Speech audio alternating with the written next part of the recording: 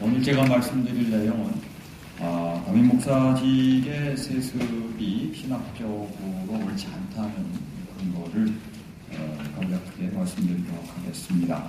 어, 오늘 각 여러분이 갖고 계신 자료는 실은 예전에 이미 제가 다 발표했던 내용입니다. 세반년 세미나에서도 발표했었고 같은 내용을 좀 더 보완해서 어, 제 책에 조직신학과 목표 현장이라는 책에 게재했던 글입니다. 오늘은 그 글을 오히려 압축해서 20분간 어, 말씀드리도록 하겠습니다.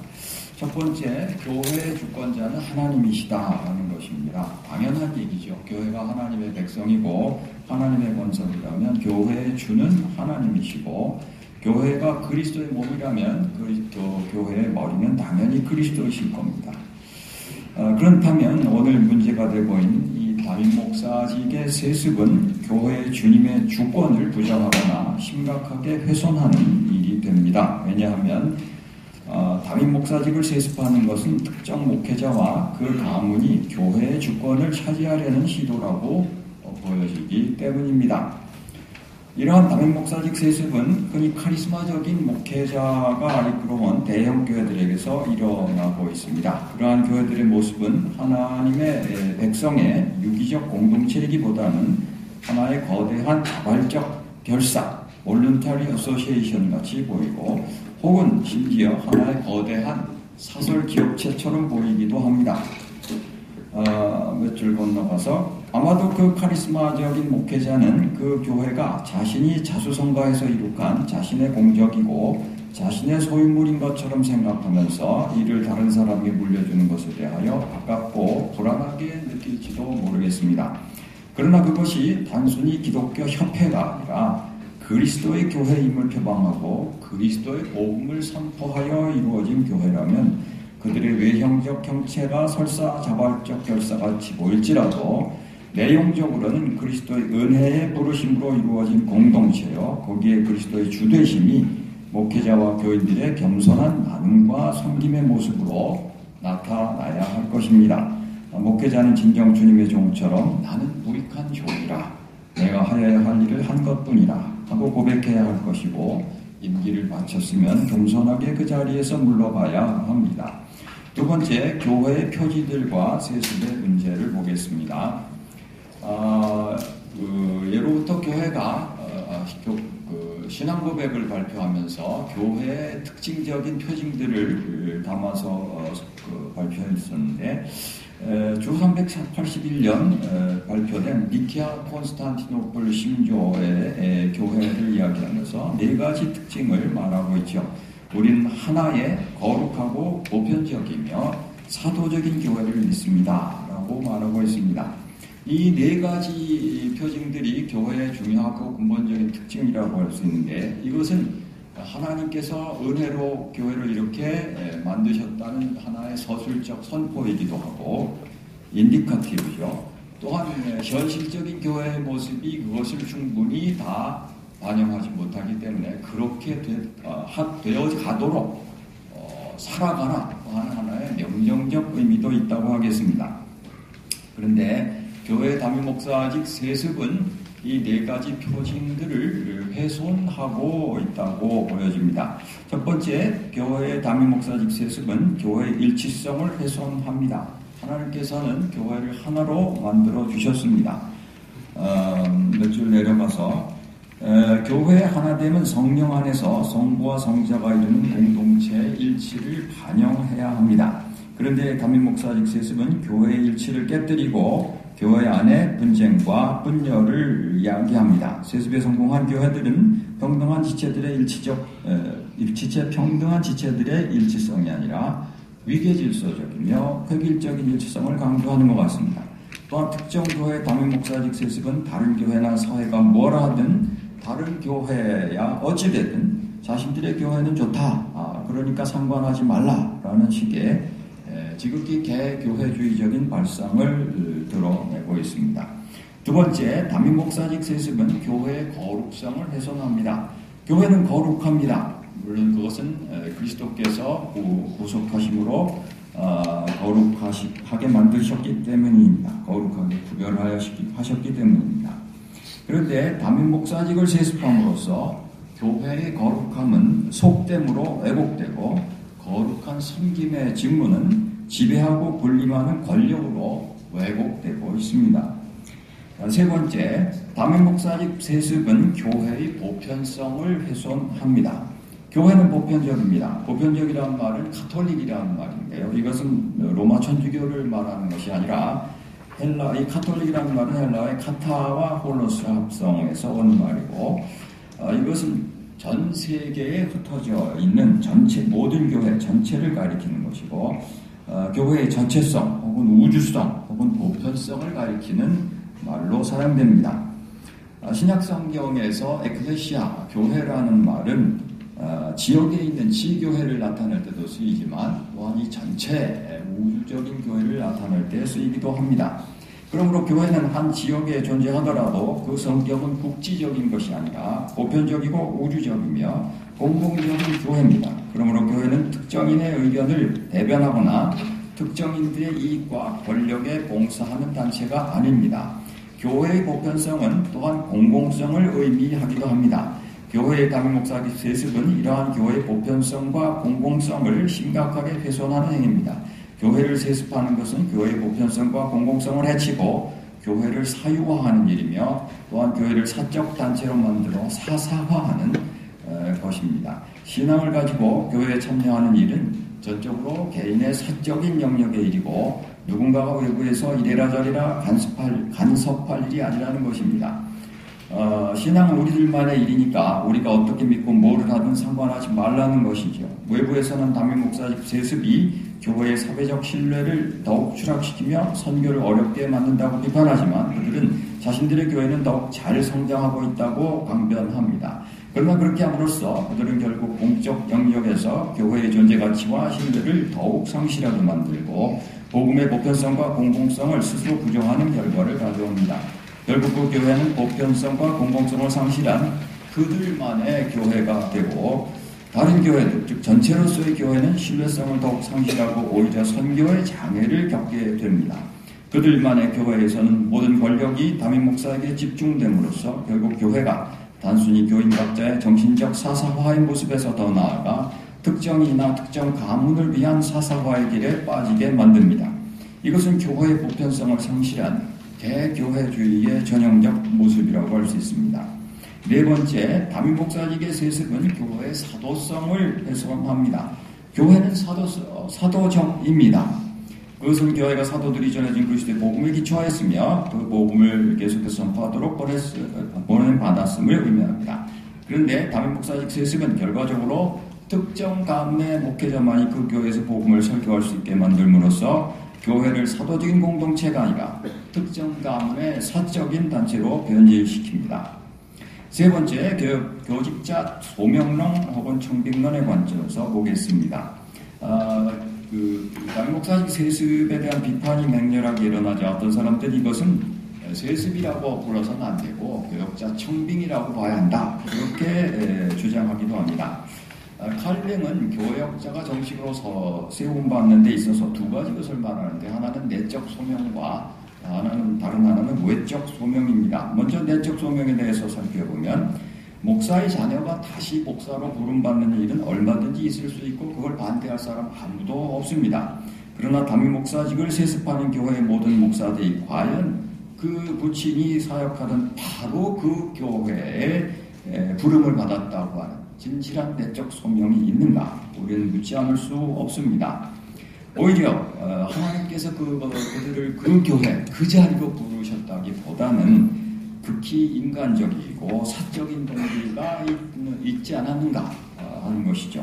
외적 소명은 어떻게 보아야 할까? 세습을 감행하는 교회들은 흔히 그 결정 과정이 절차상 법적으로 아무 문제가 없었다고 주장합니다. 어, 그러나 언론 매체를 보, 도를 보면 세습한 교회들의 결정 과정에 여러 가지 불법과 탈법과 어, 이런 사례들이 있었음을 보도하고 있습니다. 또한 외부인 후보자들에겐 아예 기회조차 주어지지 않았다면 그것이 과연 정당한 청빙인가? 또한 외부인 후보자가 있어도 아들 목사가 원로 목사가 되는 부친의 카리스마적인 영향력에 후원을 받고 있는데 과연 공정한 심사가 가능한가? 또한 세습이 예상되는 자녀가 이미 그 교회 안에서 교육자로 일하면서 사람들에게 많은 영향을 미치고 지지를 받고 있다면 설사 외부인 후보자가 있더라도 과연 동등한 심사가 가능한가? 어, 이는 우리는 질문하지 않을 수 없습니다. 네 번째, 제사장직 세습과 담임 목사직 세습입니다. 어떤 사람들 구약시대 제사장은 세습직이었기 때문에 목사도 제사장이라서 어, 세습할 수 있다. 이렇게 주장하는 것 같습니다. 아, 구약에서 제사장과 레위인들은 사실은 세습되는 직책이었던 것 같습니다. 아, 그런데 신약 성경에 와서는 이제 그 어떤 특정 계급의 사람들만이 아, 특정 부류의 사람들만이 제사장이 아니라 모든 신자가 다 아, 하나님의 제사장으로 부름받고 있다고 합니다. 어, 우리의 죄를 속해주는 희생제사는 우리의 영원한 대제사장이신 예수 그리스도께서 이루어 주셨고, 그래서 우리에게 더 이상 희생제사로서의 속죄 제사는 없습니다. 우리가 드려야 할 제사는 기도와 감사와 찬양의 제사고 서로 섬기고 나누는 사랑의 제사라고 히브리서는 우리에게 말해주고 있습니다. 어, 그래서 이제 제사는 목사에게만 맡겨진 일이 아니라 모든 그리스도인들에게 요구되는 일이고 따라서 모든 신자가 제사장입니다. 베드로전서 2장 9절에 그렇게 말하고 있죠. 어, 종교개혁자 루터는 로마 천주교회의 희생제사로서의 미사를 집전하는 계급적 제사장직에 반대하면서 전신자 제사장론을 설파한 바 있습니다. 어, 어, 또한 우리가 주목해 볼 것은 제사장직이 세습되던 구약 시대에도 어, 제사장 가문은 생업의 기반이 되는 토지를 기업으로 소유하지 못하였다는 사실을 기억할 필요가 있습니다. 즉 그들이 대를 이어간 것은 권력과 이익이 아니라 희생과 헌신이었다는 점입니다. 어, 이렇게 볼때 담임 목사직을 세습하는 것은 신학적으로 정당화할 수 없는 것이고 이미 사회적으로도 이런 일은 상식 이하의 일이라고 그, 보여지고 있습니다. 그런데도 이런 일을 강행한다면 교회의 신뢰성을 더욱 실추시킬 것이고 어, 한국 사회에서 교회 복음 전파 를 더욱 어렵게 할 것이고 어, 교회로 하여금 사회에서 소금과 빛이 되는 변혁적 능력을 상실하게 만들 것입니다. 어, 이 어, 제가 신학적인 말씀을 지금까지 드렸는데 마, 치기 전에 잠깐 어, 이 문제와 관련한 그 법률적인 문제에 관해서 한 말씀 마치고 마치도록 하겠습니다. 어, 교단 일각에서 세습을 그 금지한 헌법 조항이 위헌이다. 뭐 이런 지적이 있었는데요. 어, 세습 금지 조항이 위헌인가? 위헌이라고 말하는 건 말이 되지 않는다고 저는 봅니다. 왜냐하면 위헌이라는 용어 자체가 헌법에 대한 판결이 아니라 헌법에 아, 종속되는 법률이나 규정들이 헌법에 위반하는 사, 어, 내용을 담고 있을 때 헌법재판소가 그 어, 조항, 그 법률을 심사해서 재판해서 이건 위헌이라고 판단하는 것이죠. 어, 근데 이게 세습금지 조항 그 자체가 헌법 조항입니다. 헌법 조항이 위헌이라는 건 답이 되지가 않습니다.